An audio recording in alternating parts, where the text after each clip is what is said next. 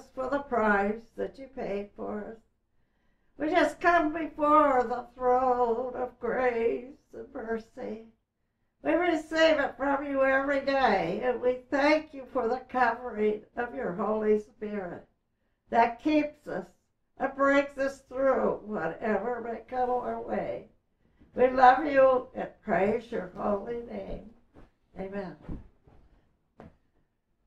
Today, I would like to talk a little bit about uh, Palm Sunday. Yesterday was Palm Sunday. And this week, I'm sure there are people are busy with going on spring breaks, so buying clothes, and making Easter baskets, and uh, and this is not bad. But I hope that people, all of us, including myself, will think about Jesus at this point in Jesus' life. He had many things on his mind. And he took time to bring his disciples aside and talk to them. This is Luke 18 31 to 34. Then he took the twelve aside and said to them, Behold, we are going up to Jerusalem and all things that are written by the prophets concerning the Son of Man will be accomplished. For he will be delivered to the Gentiles and will be mocked and insulted and spit upon. They will scourge him and kill him.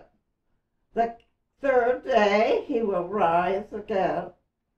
But they understood none of these things this saying was hidden from them, and they did not know the things which were spoken. They didn't comprehend what Jesus was telling them. But he knew this will be, oh, this word will help them when they go through after the crucifixion. They will remember it. But he had to prepare them. He had to fulfill the, what the prophets prophesied. He had to tell them. But they didn't comprehend it. They didn't understand how could these things be. Jesus has tried to prepare them for what's ahead for them, but he also sees this triumphant entry that he will go through to Jerusalem. John 12, 12 through 16. The next day, a great multitude that had come to the feast, when they heard that Jesus was coming to Jerusalem. These people, there were a group of people, Jesus had raised Lazarus from the dead, and they were there outside. So they were following Jesus. They heard Jesus was going to Jerusalem, and other people also. So they were coming to follow him. They took branches and palm trees and went out to meet him and cried out, Hosanna, Hosanna. But you know, these same people who are caught at this point crying, Hosanna, Hosanna, will be part of the people who will crucify. Jesus knows this, but he loves them. He loves us. It says, Hosanna, Hosanna. Blessed is he who comes in the name of the Lord, the King of Israel. Then Jesus, when he had found a young donkey, sat on it, as it is written, Fear not, daughter of Zion.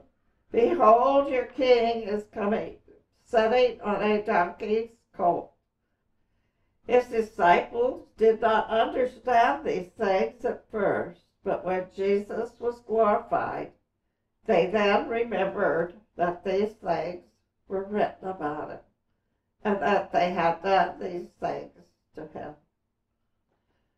In other scriptures, uh, it tells about how Jesus sent the disciples to go get the colt.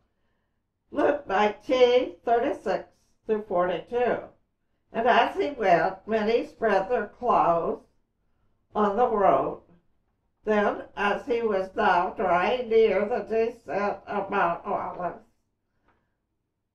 the whole multitude of the disciples began to rejoice. They began to get, feel what's going on. And uh, John it says, Hosanna, Hosanna. And then here uh, Luke is saying, the whole multitude of the disciples began to rejoice and praise God with a loud voice for all the mighty works that they had seen, saying, Blessed is the King who comes in the name of the Lord. Peace in heaven and glory in the highest. And some of the Pharisees called to him from the crowd, Rebuke your dis- disciples. They didn't, they didn't think it was right for them to be saying, Hosanna, Hosanna, glory to God in the highest. And it bothered them. So they're yelling out, Jesus, stop your disciples. This isn't right. But he answered them and uh, said, I tell you that if these should keep silent, the stones would immediately cry out.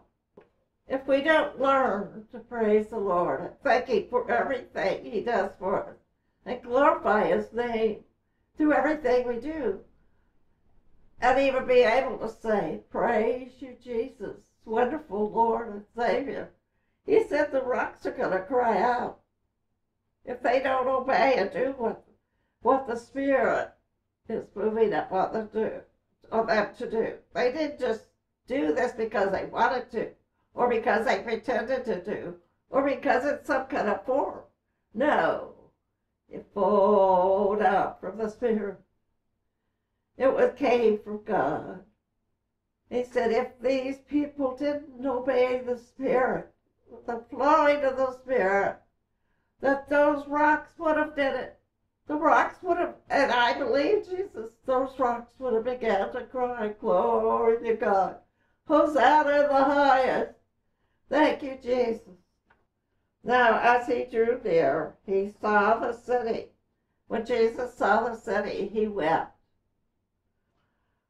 saying, If you had even you especially if this your time, if this your day, the things that make for your peace. But now they are hidden from you. The Pharisees did not recognize that this was for their peace. This is for them. But they didn't recognize it. They did not see the time of their blessing. And so it became, they became blind. They couldn't see it. And so the blessings of God were hidden from them. In John 13, 1, now before the feast of the Passover, when Jesus knew that his hour had come, that he should depart from the world to the Father, having loved his own who were in the world, he loved them to the end. He looked forward to the time. His eyes were like a flint for Jerusalem. Nothing could have stopped him and held him back. And because of his the zeal of the Lord to perform it, he wasn't going to let it fall or fail, but it was going to. He set his eyes towards the goal. He knew what was going to happen. He said in the Garden of Gethsemane, Not my will, but thine be done. If it's possible, let this cup pass by me. But he said, Not my will, but thine be done. And he continued to set his eyes towards not just Jerusalem, but towards the cross. He made up his mind. Now, today, we have to set our eyes towards Christ and what He wants of our lives and to glorify Him like they did on Palm Sunday. Some pe- people don't even mention that glorious triumphant entry into Jerusalem by Jesus. But we need to realize we need to give him glory. We need to give him praise for all the great things he does for us. And press in to what he has for us. Lord bless thee. Good.